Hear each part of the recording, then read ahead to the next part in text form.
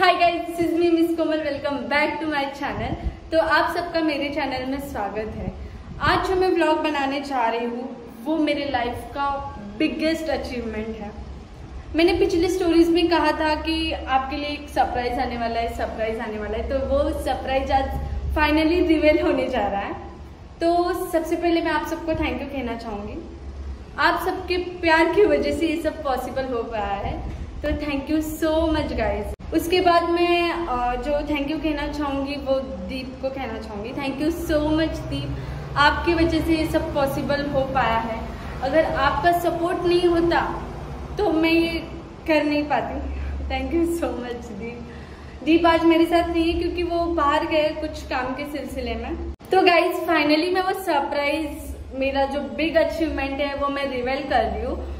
तो मैंने नवी मुंबई में खुद का घर लिया है। क्या क्या बोला तूने? Thank you so much guys and ये सब आपके वजह से पॉसिबल हुआ है। जितना थैंक यू बोलूँ मैं दीप आपका वो काम है। तो आज मैं जो मेरा घर है मैं उसका टूर कराने जा रही थी वो रिवेल कराने जा रही थी।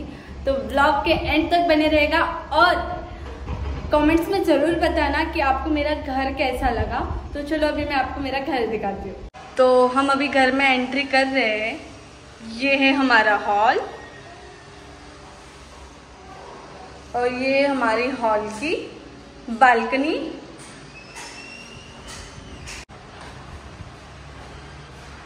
और ये है हमारा कॉमन वॉशरूम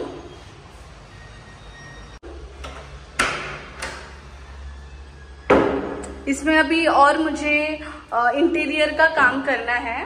किचन छोटा सा क्यूट सा किचन है। और ये हमारे किचन की बालकनी तो अब चलते हैं हमारे बेडरूम के पास। ये रहा हमारा बेडरूम जो कि है मास्टर बेडरूम ये रहा हमारा वॉशरूम ये ओपन क्यों नहीं हो रहा? हो गया।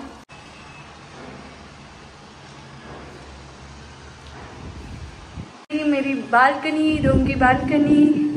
कितना प्यारा है। ये जो आपको सामने ब्रिज दिख रहा है ना गाइस ये है अटल सेतु ब्रिज इस ब्रिज के थ्रू हम बॉम्बे बस 20 मिनट्स में पहुँच जाएँगे अटल सेतु ब्रिज के थ्रू जो दो घंटे का रास्ता हमें बस 20 मिनट्स में कंप्लीट हो जाएगा।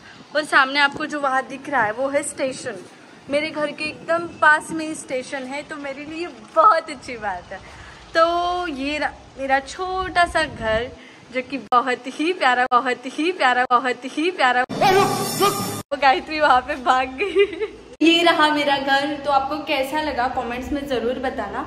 और इस घर का इंटीरियर जो है, मैं बहुत ही जल्द कराऊँगी और उसका भी ब्लॉग बनाऊँगी। तो कमेंट्स में बताना कि आपको वीडियो कैसा लगा और मेरा घर कैसा लगा। ऐसे ही प्यार देते रहना। एंड मैं आपके लिए बहुत प्यारे प्यारे कॉन्टेंट्स लेके आऊँगी। Thank you so much guys